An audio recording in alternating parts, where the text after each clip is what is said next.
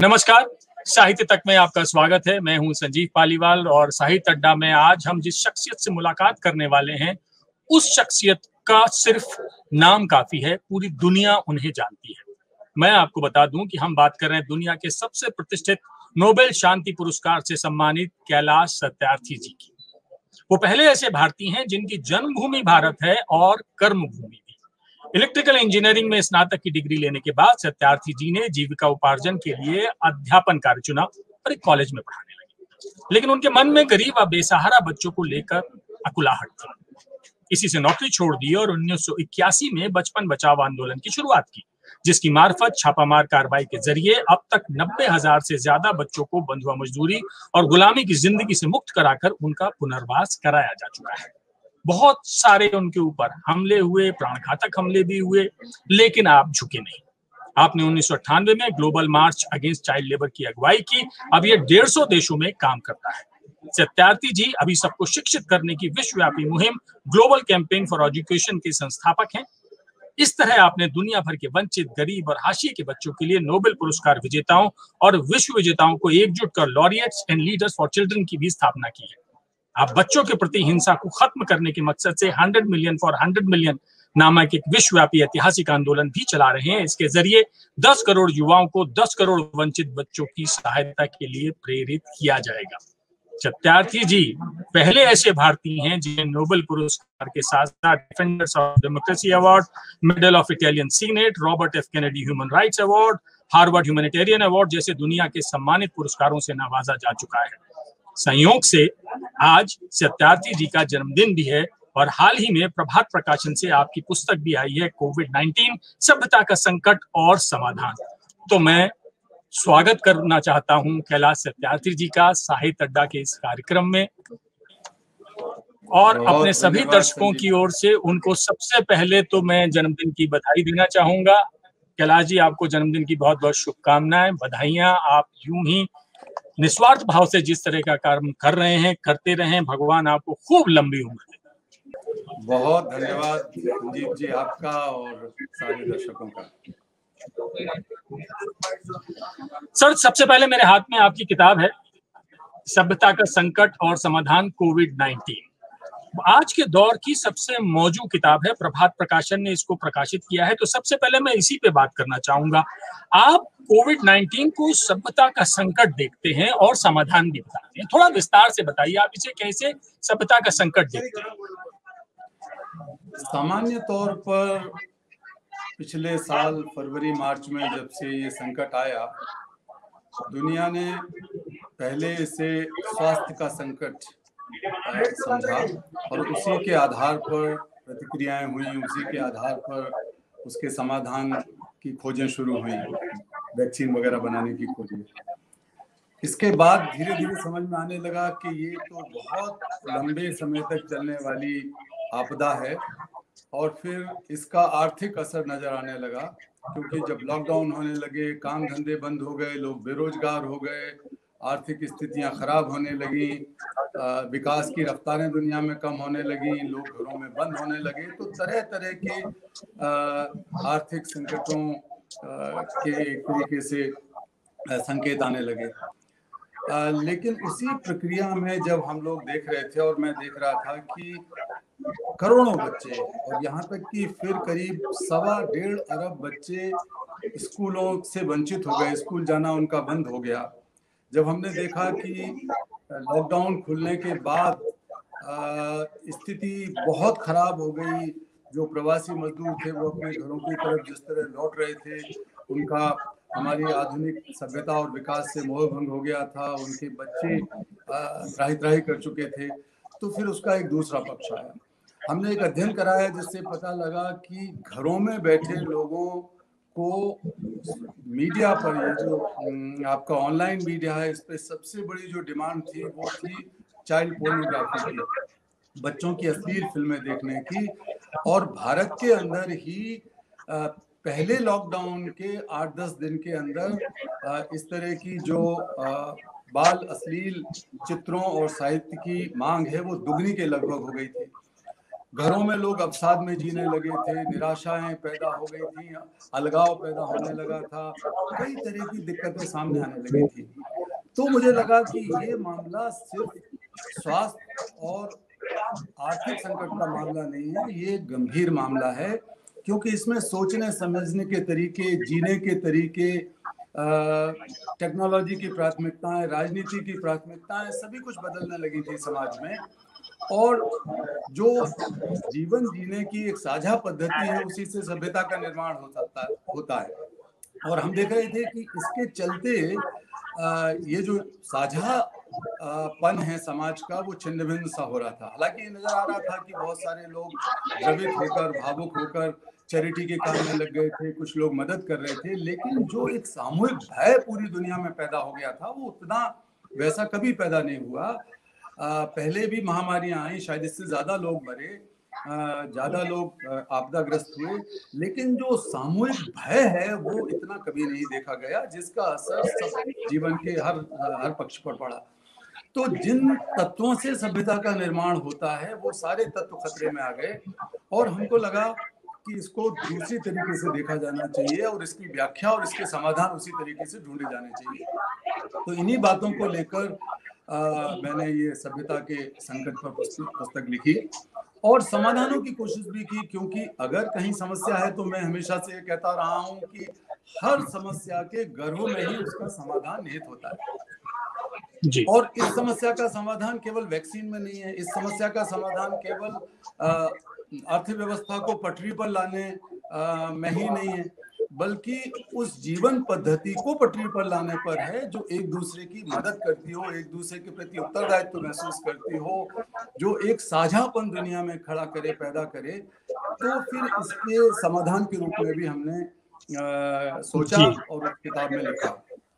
आपने आपने कहा है कि करुणा के वैश्वीकरण की बात की है करुणा से निपटने के लिए आपने कि करुणा का वैश्वीकरण होना चाहिए। आपने पुस्तक में लिखा है कि करुणा का भाव हमारी राजनीति आर्थिकी धर्मतंत्र और सामाजिकता की रीढ़ होनी चाहिए। इसलिए मैं करुणा के वैश्वीकरण की वकालत करता हूँ।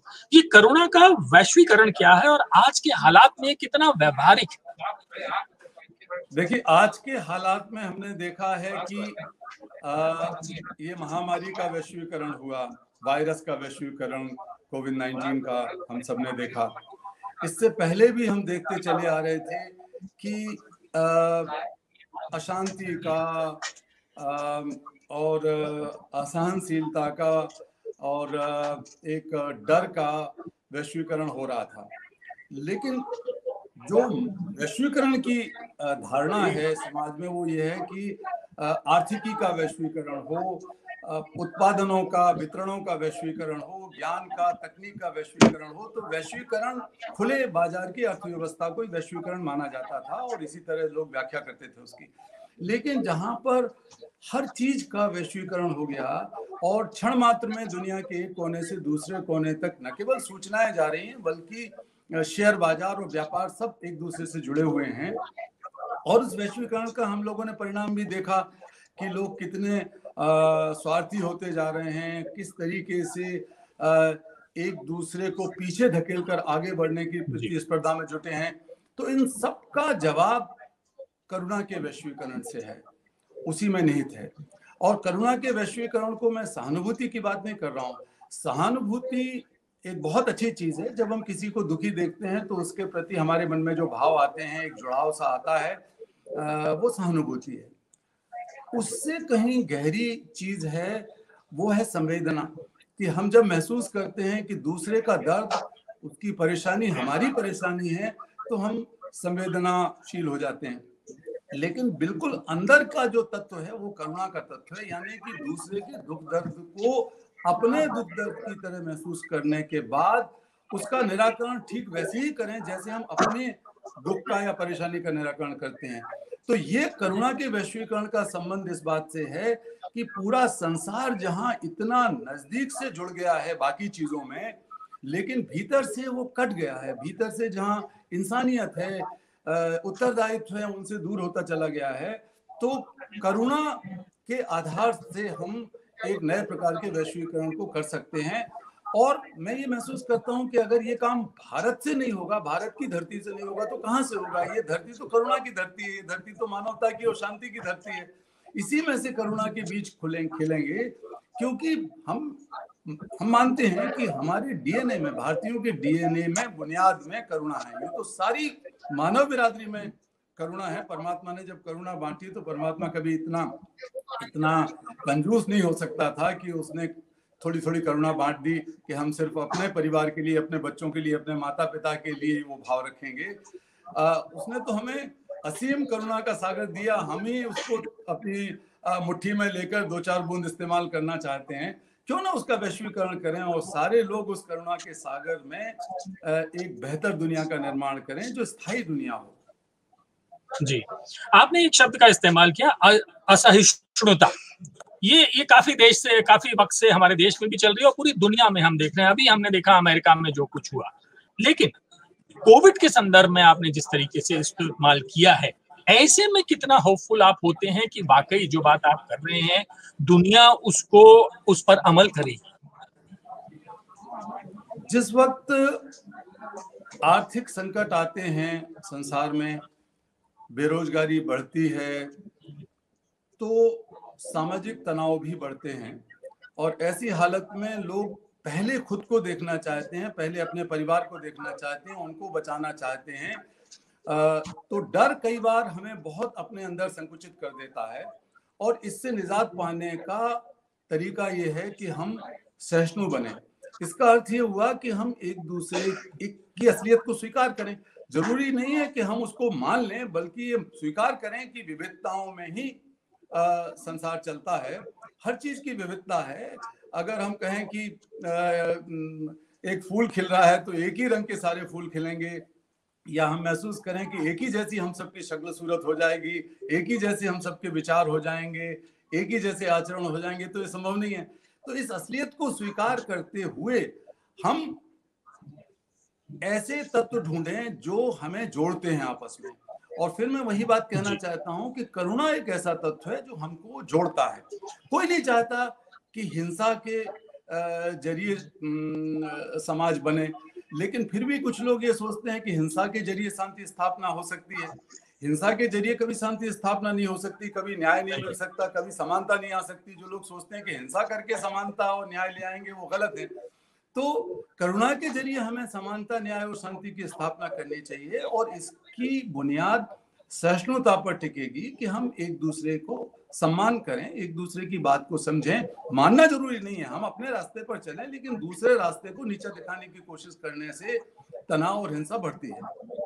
तो सहिष्णुता का मैंने इस किताब में लिखा कि एक तरफ़ हम करुणा का वैश्वीकरण करें ग्लोबलाइजेशन ऑफ़ कंपैशन दूसरी तरफ़ हम अलग अलग जो चीज़ें होती हैं, उनको अलग अलग डाटा अलग अलग सूचनाओं अलग अलग जानकारियों को मिलाकर जो एल्गोरिदम बनते हैं, उसी से आजकल जो कृत्रिम बुद्धिमत्ता है, जो आर्टिफिशियल इंटेलिजेंस है, वो उसी से चलती है। हम जो जिन चीज़ों के ज़रिए एक दूसरे एक दूसरे से मुखातिब हो रहे हैं, वो आर्टिफिशियल इंटेलिजेंस का चमत्कार है और वो एल्गोरिदम से बनता है। तो क्यों, वो विविधताओं को जोड़ते हुए बनता है कि रंग को, आवाज़ को आ, हर चीज़ को इतने करीने से वो जोड़ते हैं कि आ, सब कुछ दिखता है हमें कि बहुत ही वास्तविक है वो। वास्तविक ना होती हुए भी।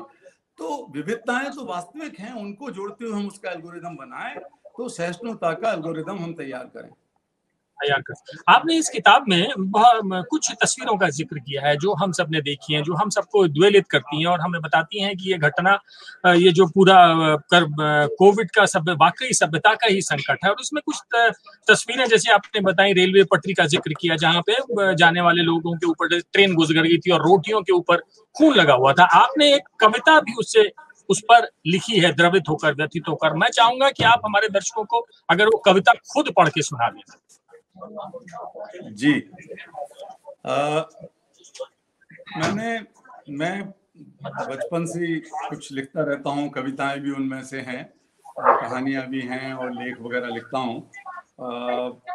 ये सामाजिक कार्यक्रम के अलावा भी साहित्य में मेरी दिलचस्पी हमेशा से रही है और उसी सिलसिले में आ, अभी जब ये घटना घटी कि एक जगह से कुछ प्रवासी मजदूर लौट रहे थे तो महाराष्ट्र में एक बड़ी दुर्घटना हुई महाराष्ट्र, मध्य प्रदेश के बीच में, भुसावल में, जहाँ बहुत सारे मजदूर रेल की नीचे आ गए और पटरी पर कटकर मर गए। तो उस पर मैंने ये कविता लिखी। खून से सनी रोटियों के साथ चिपकी पड़ी हैं जो। खून से सनी रोटियों के साथ चिपकी पड़ी हैं जो रेल की पटरियों पर। वो मेरी उंगलियाँ हैं। बड़ी मेहनत से कमाई थी वे रोटियाँ, लंबे सफ़र के लिए बचाई थी वे रोटियाँ। रोते रोते मुझे छोड़कर माँ भूखी सपाई होगी? उसने तो बाँध कर रख दी थी घर की, घर के पूरे आटे की रोटियाँ शहर तक के लंबे सफ़र के लिए। नहीं मालूम था कि कुछ रास्ते एक तरफा होते हैं। माँ के आंसुओं से कहीं ज़्यादा, बहुत ज़्यादा तकलीफ़ देह थी। उसकी खांसी और सूखती जाती काया। बहुत रुलाता था भूखी गायों का रमाना। शेरू की असमय मौत और रोज रोज साहूकार का गरियाना। पिता के हाथों के खोदे गए, मगर अब सूखे पड़े कुएँ में यूँ ही बार बार झांकना बहुत रुलाता था। और इसके आगे है। संकट एक कहीं से आया और मुझे एहसास दे गया। मेरे और शहर के सपने अलग अलग हैं। मेरे और उनके अपने भी अलग अलग हैं। बहुत हो चुका लौट पड़ा था उसे पकड़ने बहुत हो चुका लौट पड़ा था उसे पकड़ने छूट गया जो अपने घर पर। मेरी माँ को मत बतलाना, जो देखा तुमने पटरी पर। कहना, कैसे मर सकता है जिसकी नज़र उतारी थी तूने उधार की राई लेकर? बोल सको तो सच कह देना ईट ईट पत्थर पत्थर में बसता है अब तेरा बेटा। बसता है वो हर मकान में, मंदिर मस्जिद गिरजा घर में। देख रहे हो जो कुछ भी अपनी आँखों से, हाथों से जो कुछ भी तुम छू सकते हो, उन सब में मैं हूँ, मैं अब भी ज़िंदा हूँ।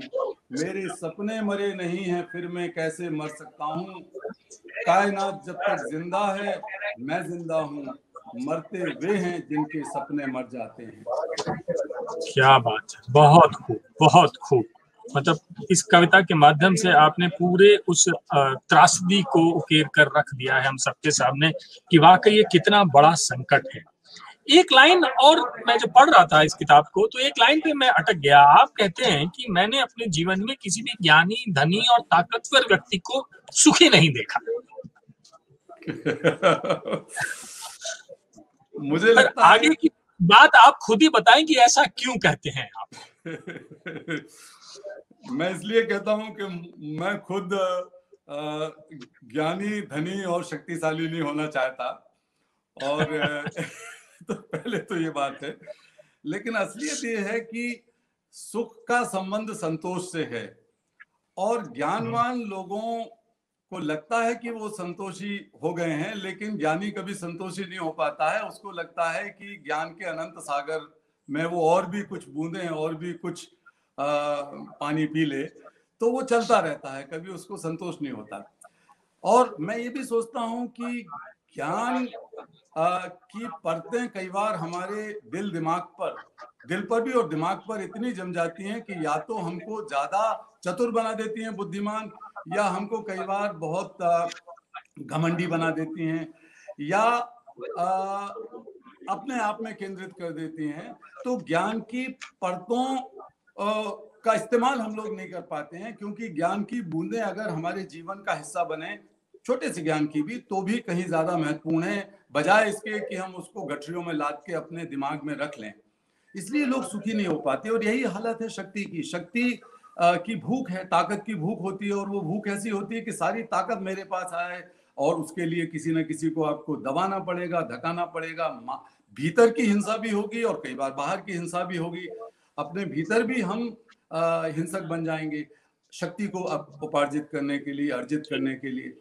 और तीसरी चीज़ ये कि पैसा, अब पैसा भी एक ऐसी मृग मरीचिका है कि उसका कभी अंत नहीं हो सकता। जितना मिले उतना कम है।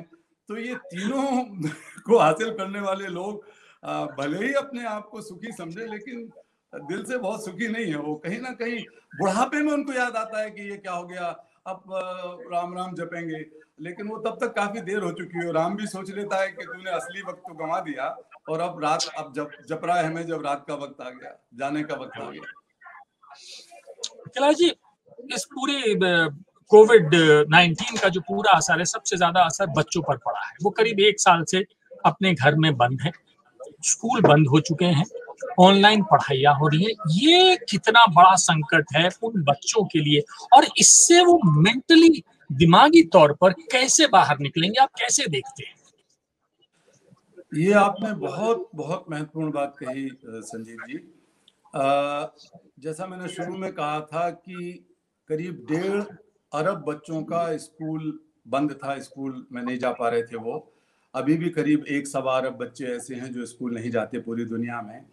तो घरों में कैद बच्चे आ, अपने आप में घुट रहे हैं। बचपन का संदर्भ और बचपन का संबंध है आ, मिलना जुलना लड़ना झगड़ना हँसी मज़ाक करना दोस्तों के बीच में खेलना कूदना मस्ती करना नई नई बातें सीखना ये सब चीज़ें बचपन से जुड़ी हुई हैं। लेकिन जब वो बचपन घर के अंदर कैद हो जाता है सिर्फ़ वही माँ बाप अब छोटे छोटे परिवार हैं तो आ, दादा दादी नाना नानी भी नज़र नहीं आते हैं ज़्यादातर घरों में। तो ये हालत पूरी दुनिया के उन बच्चों की है जो कि स्कूल जाने वाले बच्चे हैं। लेकिन उनमें आधे के लगभग ऐसे बच्चे हैं जिनके पास ये ऑनलाइन शिक्षा का अवसर नहीं मिल रहा, जिनके पास उनको मौका नहीं मिल रहा। तो ऑनलाइन एजुकेशन जो चलाया जा रहा है, उसमें उन बच्चों को लाभ नहीं मिल रहा। करीब करीब उन एक अरब में से सैतालीस, पैंतालीस से सैतालीस लाख बच्चे सॉरी पैंतालीस से सैतालीस करोड़ बच्चे ऐसे हैं जिनके पास वो सुविधा उपलब्ध नहीं है। तो उन बच्चों की तो और बड़ी बुरी हालत है और माँ बाप भी सोचने लगते हैं गरीबों गरीबों के परिवारों में कि अब बहुत हो चुका, हम तो बड़ी मुश्किल से बच्चों को पढ़ा रहे थे। बहुत सारे बच्चों को मिड डे मील मिल रहा था, दिन का खाना मिल रहा था या कुछ और उनको वजीफे वगैरह मिल रहे थे, वो सब बंद पड़े हैं। अब बहुत सारे गरीब देशों में तो जो सुविधाएँ बच्चों को स्कूल के अंदर मिल रही थी या वजीफे मिल रहे थे, वो बंद पड़े भारत में तो फिर भी बहुत प्रयास हुआ है कि उन तक कुछ ना कुछ पहुँच जाए। जो मध्यान्ह भोजन है, उसके बदले में कुछ आर्थिक सहायता मिल जाए, लेकिन अधिकांश देशों में और भारत में भी कई जगह पर ये संभव नहीं हो पाया। तो ऐसे बच्चों का स्कूल से छूट के बाल वेश्यावृत्ति में, गुलामी में, दुर्व्यापार में, बाल मजदूरी में और फुटपाथी बच्चों की भीड़ में धकेला जाना बहुत स्वाभाविक है। और ये बहुत बड़ा खतरा है कि अब लाखों लाख बच्चे शायद स्कूलों में नहीं रहेंगे और इस स्थिति के लिए मजबूर होंगे। तो बहुत चिंता करनी चाहिए। लेकिन जो बच्चे घर में घुट रहे हैं, उनकी भी मानसिक स्थिति बहुत बुरी है। मैं शुरू से ये कहता रहा हूँ, पहले लॉकडाउन से, कि ये मौका भी है कि आप बच्चों के रिश्ता पैदा करें। लेकिन ज़्यादातर माँ बाप के बीच में खुशामद का रिश्ता तो होता है कि बच्चे की खुशामद करेंगे या उसकी चिंता करेंगे, चिंता के लिए अच्छे से अच्छे, बड़े से बड़े, महँगे अंग्रेज़ी स्कूल में भेजेंगे, अच्छे कपड़े दिलाएँगे अच्छा खाना, पिज्जा, बर्गर वगैरह खिलाए, खिलाने ले जाएँगे, वो सब करेंगे ताकि बच्चा खुश रहे। लेकिन उससे बच्चे की खुशी नहीं है। बच्चे की खुशी इस बात में है कि वो एक दोस्त की तरह अपने मन की भावना, अपने मन की वेदना, पीड़ा, खुशी, सारी चीज़ ज़ाहिर कर सके अपनी माँ से, अपने पिता से। ये हमारे परिवारों में सामान्य तौर पर नहीं होता है। तो बच्चों के साथ दोस्ती का रिश्ता न होने से भी जो घर में कैद हैं आजकल बच्चे वो बहुत घुट रहे हैं भीतर भीतर से। तो वो एक मौका था और अभी भी मौका है कि हम अपने बच्चों के साथ मिल बैठकर एक गुणात्मक समय उनके साथ एक क्वालिटेटिव टाइम रखें और ये महसूस कराएँ कि हम उनके दोस्त हैं न कि उनको हमेशा निर्देशित करने वाले पिता हैं। जी। तो अगर मैं आपसे पूछूँ कि ये जो कोविड नाइन्टीन जनरेशन है, क्योंकि ये तो बहुत कम उम्र में उन्होंने वो देख लिया जो कई पीढ़ियों ने नहीं देखा था, ये कैसे डिफरेंट होगी बाकी हमारी हमारी या हमारे बाद वाली एक पीढ़ी से? पहली बात तो ये होगी कि ये बच्चे बहुत ज़्यादा तकनीक पर टेक्नोलॉजी पर निर्भर होंगे। वो सब तरीके खोजेंगे जिससे कि वो आत्म केंद्रित होकर पढ़ लिख सकें या ज्ञान अर्जित कर सकें या आगे बढ़ने के सपने देख सकें। अभी तक वो सिर्फ़ अपने मनोरंजन के लिए मोबाइल फ़ोन पर तरह तरह के खेल खेलते रहते थे जो ऑनलाइन खेल हैं या इस तरह के जो कंप्यूटर पे खेल हैं, वो खेलते थे। लेकिन अब पढ़ाई भी चूँकि उसी पर हो रही है तो बहुत ज़्यादा उनको अपने अंदर संकुचित होने का खतरा है। दूसरी चीज़ ये है कि जब तक वो एक दूसरे से नहीं मिलेंगे तो एक दूसरे के प्रति उत्तरदायित्व का बोध, एक दूसरे से सीखने की इच्छा और ये सब चीज़ें कम होती चली जाएँगी। एक और बड़ा खतरा ये है कि शिक्षकों की ज़रूरत कम हो जाएगी अब शायद। तो शिक्षकों की ज़रूरत कम होने पर जिसे हम हज़ारों साल से भारत में गुरु की महिमा का बखान करते रहते थे, वो इसलिए करते थे कि न केवल उन्हें ज्ञान मिलता था या सूचनाएँ मिलती थी बच्चों को, बल्कि उनके चरित्र से सीखने का मौका मिलता था। कुछ शिक्षक गड़बड़ हो सकते हैं, लेकिन ज़्यादातर शिक्षकों के के लिए तो बच्चे उनके लिए बड़े महत्वपूर्ण हैं और बच्चों के लिए भी शिक्षक आदर्श होते हैं। तो वो जो गुरु और शिष्य का रिश्ता है या शिक्षक और बच्चे का रिश्ता है, अध्यापक और विद्यार्थी का रिश्ता है, वो भी कमज़ोर पड़ेगा और इसका भी खतरा होगा। क्योंकि दुख सुख में, संकट में शिक्षक एक ऐसा प्राणी है जिससे बच्चे अपनी बात साझा कर लेते हैं हो जाएगा। ये खतरा बहुत है इसलिए हमें इस पर ध्यान देना चाहिए। सरकारें भी कहेंगी कि भाई अब हम ऑनलाइन एजुकेशन नहीं ज़्यादा खर्चा करेंगे और हम स्कूल बनाने में शिक्षकों की नियुक्ति में उनको तनख्वाहें देने में वगैरह वगैरह क्यों खर्च करें? तो ये ना हो इसका भी हमें ध्यान रखना पड़ेगा। और कोशिश हमें अब ये करनी चाहिए कि जब बच्चे दोबारा से स्कूल में वापस आएँगे तो उस रिश्ते को कायम करें और कुछ और मनोवैज्ञानिक प्रयास भी करें खेल तरह के कार्यक्रमों के ज़रिए सांस्कृतिक सामाजिक कार्यक्रमों के ज़रिए कि बच्चे फिर से एक दूसरे से मिलके पुरानी स्थिति में आ सकें और उस त्रासदी की स्मृतियों से मुक्ति पा सकें। जी तो संकट तो बहुत ज़्यादा है और खतरे भी हैं और आपने एक टिप्पणी और की है, यहाँ पर तमाम धर्मों की व्याख्या करते हुए, धर्मों के बारे में भी आपने बताया और एक टिप्पणी आप करते हैं कि कोई धर्मगुरु धर्म स्थान या पूजा पद्धति का चमत्कार जहरीले विषाणु को फैलने से नहीं रोक सका। सिर्फ़ एहतियात और वैक्सीन से कोरोना वायरस पर काबू पाया जा सकता है। ये बात तो सबको समझ में आ रही है और आपने वो बात कह भी दी है। यूजुअली आदमी ये सब बातें कहने से बचता है और आपने इसमें सभी धर्मों का उदाहरण लिया कि कैसे सभी धर्म करुणा पर आधारित हैं करुणा की बात करते हैं। लेकिन बेसिक चीज़ें हम भूल जाते हैं हमारी दिक्कत ये है। और इस ऐसे वक्त में इनको बहुत याद रखने की ज़रूरत है जिन बातों को आप दोहरा रहे हैं बता रहे हैं। आपको लगता है कि हमारा समाज और हम लोग बदलेंगे? देखिए अगर हम मत मजहबों को धर्म से धर्म की जो परिभाषा और व्याख्या है वो मत पंथ और मजहबों की व्याख्या से अलग है, लेकिन उसे हम बोलचाल की भाषा में अगर धर्म भी कह दें तो अगर धर्मों के माध्यम से हम लोग सिर्फ़ पाखंड जीते हैं या चमत्कारों की आशा रखते हैं तो ये तो अवैज्ञानिक बात है। धर्मों के अंदर जो निहित मूल्य हैं, उनके अंदर जो बहुत गहरी जीवन की शिक्षाएँ हैं और एक बेहतर दुनिया, शांतिपूर्ण दुनिया बनाने के जो मूल तत्व छुपे हुए हैं, जो मंत्र छुपे हुए हैं, अगर उनको हम निकालेंगे तो उसमें हमें करुणा की बुनियाद हर जगह नज़र आएगी। उसमें हमें सहिष्णुता, एक दूसरे के प्रति उत्तरदायित्व की भावना ज़रूर नज़र आएगी, कृतज्ञता ज़रूर नज़र आएगी। इसीलिए मैंने इस पुस्तक में करुणा, कृतज्ञता, सहिष्णुता और उत्तरदायित्व की बात रखी है। जो कि मेरी अपनी बात नहीं है मैंने पुस्तक में भी लिखा है कि ये सभी धर्मों का निहितार्थ है उसके अंदर ये मौजूद है।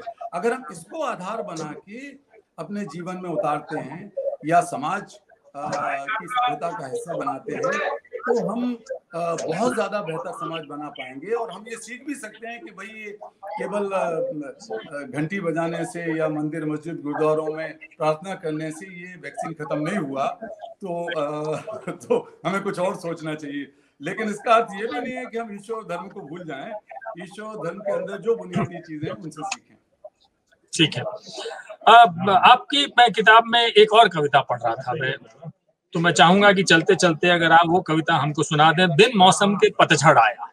वो भी अगर सुना दें क्योंकि वो भी प्रवासी मजदूरों के ऊपर आपने लिखी है उनको देखते हुए लिखी है। मैं चाहूँगा कि वो भी आप ज़रूर सुनाएँ और आपकी कविताओं की किताब भी एक आई है वो अलग से आई है। हम उस पर फिर हम्म। कभी चर्चा करेंगे उन कविताओं पर सिर्फ़ और सिर्फ़ कविताएँ सुनेंगे उस दिन बैठ के हम आपसे। आज फ़िलहाल हम चाहेंगे कि चलते चलते आप हमको ये कविता ज़रूर सुना दें। किताब आपके हाथ में है संजीव जी?